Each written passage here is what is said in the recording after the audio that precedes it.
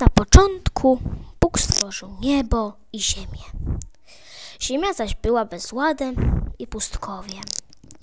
Ciemność była nad powierzchnią wód, a Duch Boży unosił się nad wodami. Wtedy Bóg rzekł: Niechaj się stanie światłość. I stała się światłość. Bóg widząc, że światłość jest dobra, oddzielił od ciemności i nazwał Bóg światłość dniem, a ciemność nazwał nocą. I tak upłynął wieczór i poranek, dzień pierwszy.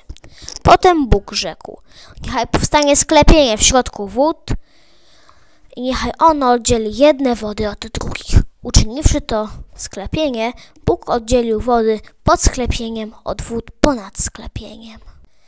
A gdy tak się stało, Bóg nazwał to sklepienie niebem. I tak upłynął wieczór, a po nim poranek, dzień drugi. Potem Bóg rzekł: Niechaj zbiorą się wody spod nieba w jedno miejsce i niech ukaże się powierzchnia sucha. A gdy tak się stało, Bóg nazwał tę suchą powierzchnię ziemią, a zbiorowisko wód nazwał morzem.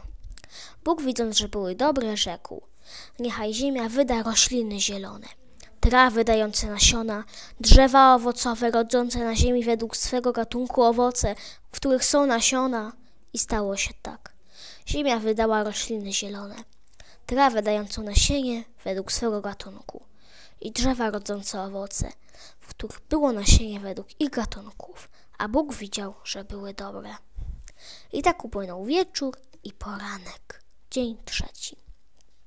A potem Bóg rzekł: Niechaj powstaną ciała niebieskie, świecące na sklepieniu nieba, aby oddzielały dzień od nocy, aby wyznaczały pory roku, dni i lata, aby były ciałami jaśniejącymi na sklepieniu nieba i aby świeciły nad ziemią. I stało się tak. Bóg uczynił dwa duże światła jaśniejące, większe, aby rządziło dniem, i mniejsze, aby rządziło nocą, oraz gwiazdy. I umieścił je Bóg nad sklepieniu nieba, aby świeciły nad ziemią, aby rządziły dniem i nocą i oddzielały światłość od ciemności.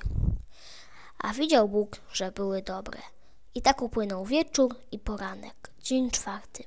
Potem Bóg rzekł: Niechaj się zarają wody od roju istot żywych, a ptactwo niechaj lata nad ziemią, pod sklepieniem nieba.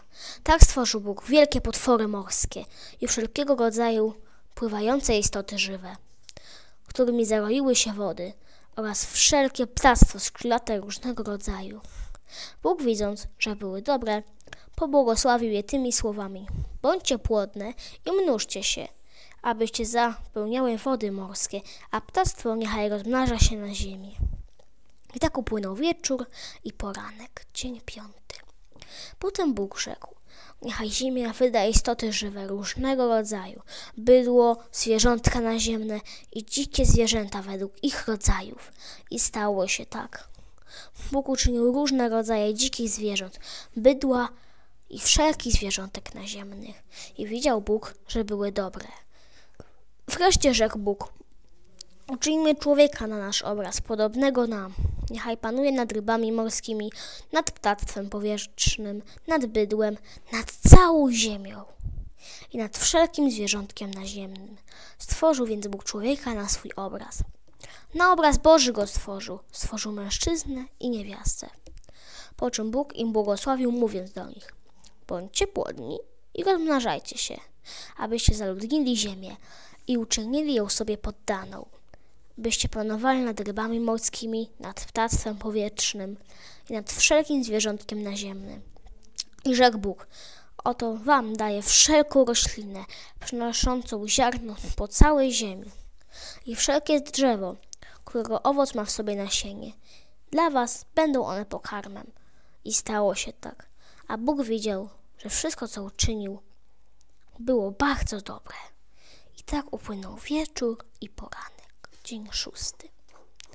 W ten sposób zostały ukończone niebo i ziemia oraz wszystkie jej zastępy, stworzeń.